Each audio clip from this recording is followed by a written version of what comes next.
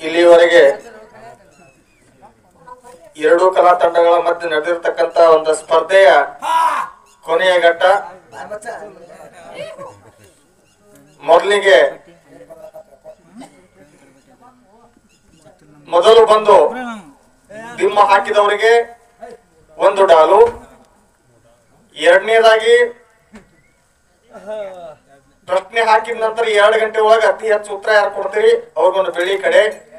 ನಂತರ ಐದು ಗಂಟೆಗೆ ಐದು ಪುಟಿನ ಡಾಲ, ಘರ್ಷಣೆಗೆ ಒಂದು ಡಾಲ ಅಂತೇಳಿ ಇವು ಬಹುಮಾನಗಳು, ಎರಡು ತಂಡಗಳ ಮಧ್ಯೆ ಇಟ್ಟಿದ್ದಾಗಿದ್ದ. ಈಗ ಕೊನೆಯದಾಗಿ ಹೇಳೋದೇನಪ್ಪಾ ಅಂತಂದ್ರ, ಮೊದಲು ಬಂದವರಿಗೆ ಒಂದು ಡಾಲ ಕೊಡ್ತೇವೆ ಅಂದಿದ್ವಿ. ಅದು ಯಾರು ಮೊದಲು ಬಂದವ್ರು? ನಾವು ಲೇಟ್ ಆಗಿ ಬಂದಿವ್ರಿ. ಕಮಿಟಿ ಅವ್ರಿಗೆ ಯಾರಿಗೆ ಕೊಡ್ತೀರಿ? ಕೊಡ್ರಿ. ಸುಲ್ತಾನ್ಪುರದವ್ರಿಗೆ ಮೊದಲು ಬಂದವ್ರಿಗೆ.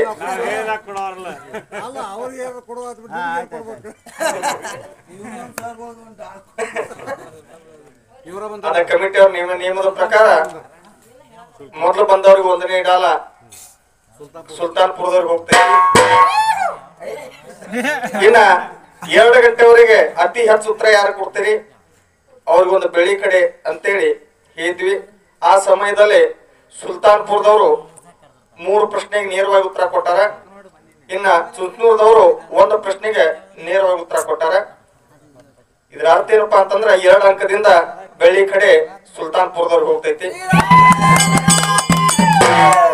ಇನ್ನ ಐದು ಫೂಟಿನ ಅಲ್ಲ ಸುತ್ನೂರದವರು ನಾಲ್ಕು ಪ್ರಶ್ನೆಗೆ ನೇರವಾಗಿ ಉತ್ತರ ಕೊಟ್ಟಾರ. ಸುಲ್ತಾನ್ಪುರದವರು ಎರಡು ಪ್ರಶ್ನೆಗೆ ಉತ್ತರ ಕೊಟ್ಟಾರ.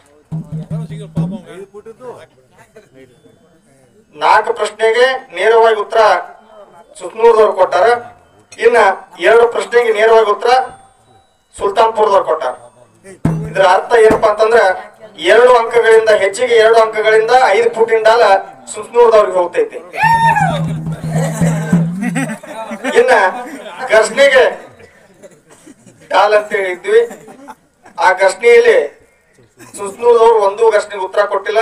ಆದ್ರೆ ಸುಲ್ತಾನ್ಪುರದವರು ಎರಡು ಘರ್ಷಣೆಗೆ ನೇರವಾಗಿ ಆಧಾರಬದ್ಧವಾಗಿ ಲೇಖಬದ್ಧವಾಗಿ ಉತ್ತರ ಕೊಟ್ಟಾರ. ಆ ಡಾಲ ಸುಲ್ತಾನ್ಪುರದವ್ರಿಗೆ. ಇಲ್ಲಿವರೆಗೆ.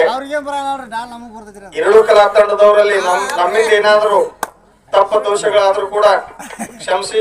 ಇನ್ನ ಕುಡಿರ್ತಕ್ಕಂತ ಕಮಿಟಿಯವರಲ್ಲಾಗ್ಲಿ ಆ ಕಲೆಯನ್ನ ಕೇಳಕ್ಕೆ ಬಂದಿರತಕ್ಕಂತ ಕಲಾಭಿಮಾನಿಗಳಾಗ್ಲಿ ನಮ್ಮಿಂದ ಏನೋ ತಪ್ಪಾದ್ರೂ ಕ್ಷಮೆ ಇರಲಿ ಅಂತ ಹೇಳಿ ತಿಳ್ಕೊಂಡ ಈ ಕಾರ್ಯಕ್ರಮಕ್ಕೆ ನನ್ನ ಕಮಿಟಿಯ ಮುಕ್ತಾಯ ಹೇಳ್ತಾ ನಮ್ಮನ್ನ ಉದಕಡಿ ಯಾವಾಗ ಕೊಡ್ತೀರಿ ಕೊಡ್ರಿ ಮಂಗಲ್ ಯಾವಾಗ ಕೊಡ್ತೀರಿ ಮಾಡ್ರಿ.